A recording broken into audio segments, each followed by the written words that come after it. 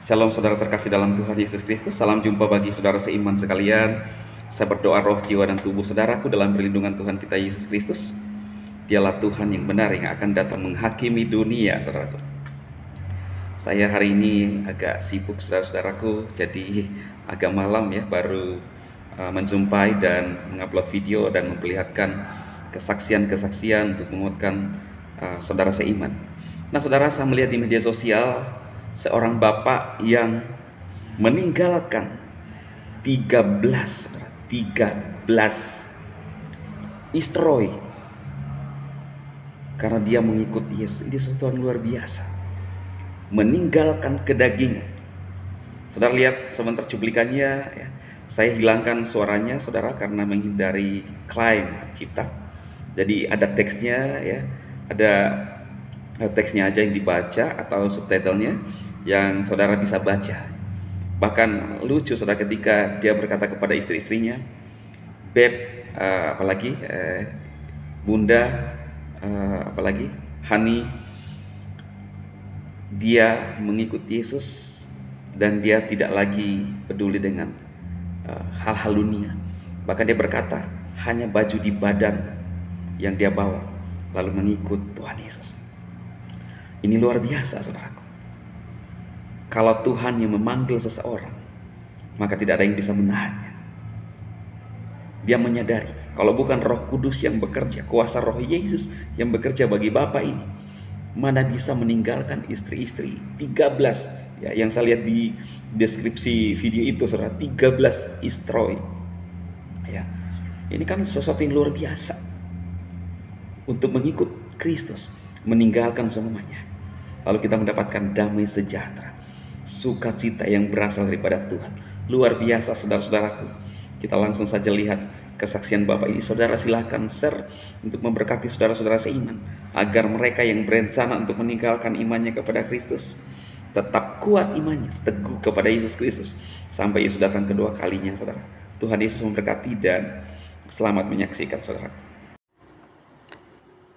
Saya suruh ngomong sama mantan-mantan itu Ma, Beb, Hani, Sweetie, Bunda yang sekarang aku menjadi pengikut Yesus aku baru dibaptis. Memang kamu gile? Dia ngomong gile. Toh iya. Kebanyakan narko. Apalagi dikatakan saya itu pindah agama. Wah itu orang gile. Kamu tarmut kamu ya udah saya tinggalin. Tinggal saya bawa baju satu celana satu yang nempel di baju saya ini. Terus saya kontak teman saya namanya Iwan. Teman saya minta uangnya 100 ribu. Buat apa? Anterin aku Tuhan ngomong tinggalin harta bendamu semuanya dan kamu pergi kota Malang. Karena saya dibesarkan di situ dengan keadaan seperti itu saya hidup saya di Jakarta. Oh berarti waktu itu bertobat di luar pulau. Saya tinggal di Jakarta, di Bali, di mana, tapi saya keliling. Bandar narko. Terus nggak enak, Malang, nggak tahu Tuhan, aku lah. Tapi Tuhan suruh aku ke Malang, dia nggak suka katanya ke Malang ya, saudara. Tapi tetap justru disuruh Tuhan ke Malang. Nah itu ya, rekan-rekan bisa baca sendiri kesaksiannya dan bisa uh, skip untuk bisa mengerti. Wow, luar biasa ya saudara ya. Luar biasa saudara, kita sudah melihat kesaksian Bapak ini, luar biasa. Ya, saya berdoa ini menjadi berkat bagi saudara, berkat rohani untuk menguatkan iman kita. Tidak ada artinya apa yang kita miliki di dunia ini, kesenangan, semuanya kita akan tinggal. Saudaraku, saya berterima kasih atas support saudara selama ini ya. Hari ini tim kita sudah berhasil memberikan uh, dan menyalurkan bantuan bagi pembangunan gereja GBI uh, di Sulawesi Barat, saudara, Pendeta Albert, ya. dan uh, saudara bisa lihat ya uh, cuplikan videonya pada saat penyerahan bantuan kepada hamba Tuhan ini, ya.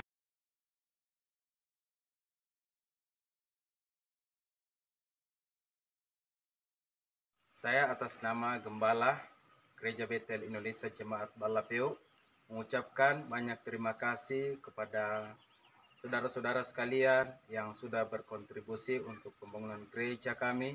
Kiranya Tuhan Yesus selalu memberkati saudara-saudara dan terima kasih juga kepada Pastor DHI dan Immanuel Peduli Bangsa. Tuhan memberkati bersama dengan tim. Kiranya uh, ke depan pelayanan ini semakin sukses untuk membangun gereja-gereja yang ada di pelosok-pelosok desa. Terima kasih, Tuhan Yesus memberkati. Shalom.